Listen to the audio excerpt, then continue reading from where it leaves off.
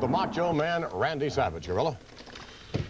I think that vendetta is a long way from being over. There's no way that you can go to bed at night and not be thinking about what Jake Roberts did to Elizabeth. No way.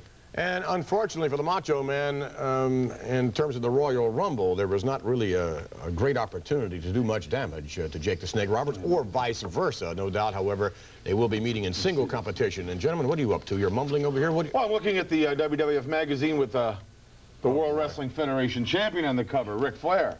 Well, you guys never give it a break, do you? Never give it a break. That's Gloat, why gloat, we're successful. Gloat, gloat, gloat. Don't interrupt me, Reverend. I'll have the Energizer come through here and walk all over you. What? The Energizer? the bunny that beats the drum. Ric Flair, still going. Strong.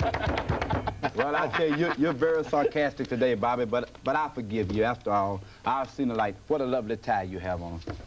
well, that's very and your nice. tie is nice, too. It was a lot pretty when the lights worked, though.